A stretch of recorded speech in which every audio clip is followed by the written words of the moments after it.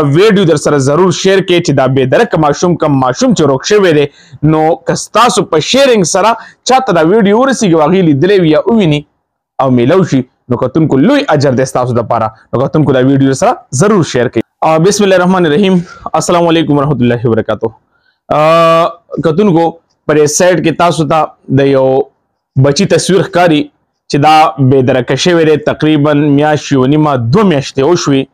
اوسېدونکي د باجوړ دي خو دې ټایم کې دوی پاتې کیږي په کراچۍ کې او د ماشوم بې درکه شوی هم د کراچۍ نه دی کتونکو ډیر زیاتې یو ته بل ته اوې داسې ځکه چې ماشوم دی په یو کور کې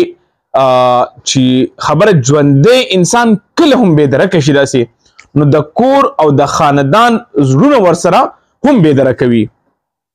زړونه ورسره درديږي نو کتونکو کوشش موږ لپاره کار دی چې دې ماشوم پوره پوره درک موږ ولګو چې چالي دلې وي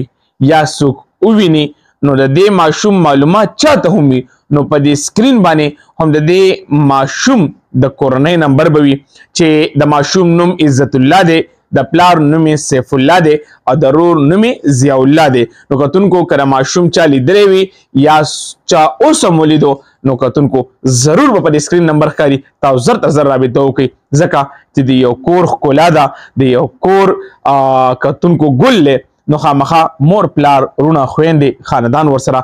درديږي ځکه چې یو نیمه دوه میاشتې وشو د کور نه بار دی نشته رابطه نشته هغه پسې ګرځي اس هم لا نشته اوسه پورې نو کتونکو د ټول نه اول خبره داسې ده چې دا ویډیو در سره ضرور شیر کړئ چې دا بې درک ماشوم کم ماشوم چې روک شوی دی نو که ستاسو په شیرینګ سره چاته دا ویډیو ورسیږي هغې لیدلی وي یا وویني